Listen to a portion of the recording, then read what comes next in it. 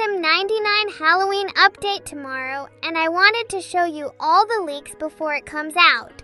This is going to be a really short video, but make sure you like and subscribe.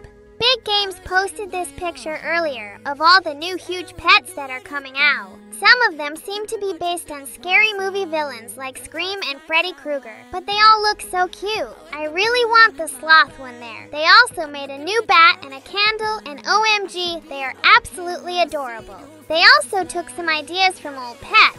There's a pumpkin hippo melon, a scarecrow pumpkin, a zombie deer, and a fossil cat maybe. I think this update's gonna be really good just because of all these new pets.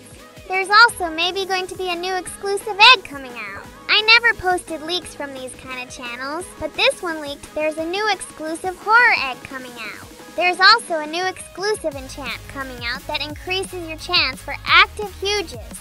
This means that the diamond enchant that's in the exclusive shop right now is probably gonna go away, so it might be a good time to buy it. But yeah, that's it for leaks. I think that's everything we know so far.